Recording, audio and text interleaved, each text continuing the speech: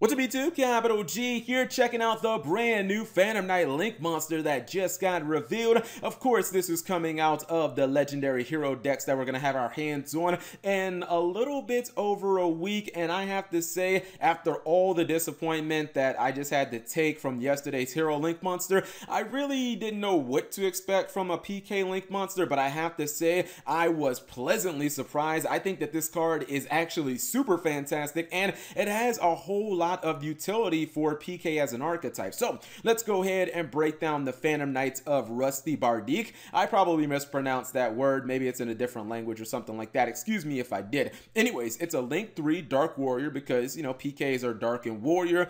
Effect monster, 2100 attack, and the link points are bottom right, bottom left, and then also to the right. The materials are very easy for Phantom Knights to make. It's just two dark monsters. So everything in the PK archetype is dark, and even the Xyz monsters that they summon regularly, that'll be like Dark Rebellion Xyz Dragon, Dark Requiem Dragon, those are also dark, so I don't think that that's going to be a problem. The effect says during your main phase, you can send one the Phantom Knights monster from your deck to the graveyard, then set one Phantom Knight spell slash trap directly from your deck to your spell and trap zone. If a Dark Xyz monster or monsters is special summoned to a zone this card points to, while this monster is on the field except during the damage step, you can target one card on the field, destroy it. Both of those effects are hard once per turns, and this card cannot be used as link material. I don't think that last part of the effect where, you know, this guy can't be used as link material material, eh, that doesn't really seem like it's much of a problem to me. I'm not sure if Phantom Knights are really going to want to climb that far up the ladder to keep Link summoning.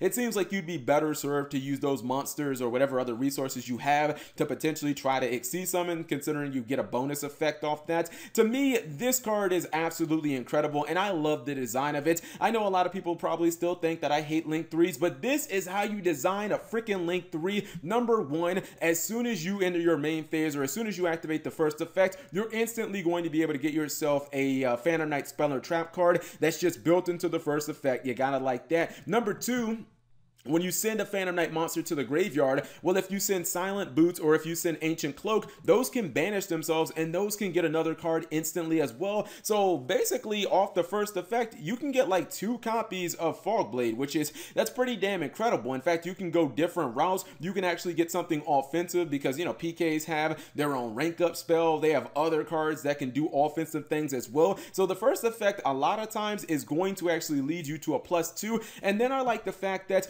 if you want to continue to summon monsters from your extra deck, let's just say that you do want to Xyz summon for Dark Requiem, or you want to go for, I don't know, Dark Rebellion, or, you know, Breaksword, which is probably their most common Xyz that summon, you are going to be able to not only get that monster on the field, but you're going to be able to blow something up at the same time. And Another thing that I like about this card is it doesn't have to be link summoned in any type of capacity to get that effect. In fact, the Xyz monster doesn't have to be Xyz summoned either. You could actually just have this card on the field. You could you could monster reborn the link monster and get the effect. If you monster reborn this card and then you actually summon an Xyz monster, you're still going to be able to get the effect. This card is incredible because it, it basically just puts like all the resources that you put in. Let's say you do put in three dark monsters and you get this, you're going to be getting one one big monster out of it, and then you should be able to get two spell and trap searches immediately, assuming you drop, you know, an ancient cloak or a boots into the graveyard. Even if you never actually use the Xyz summon, you're basically breaking even with this card already. The only real downside to this card is the fact that it's not much of a world beater. It's only 2100 attack, and there, there really isn't any option for this card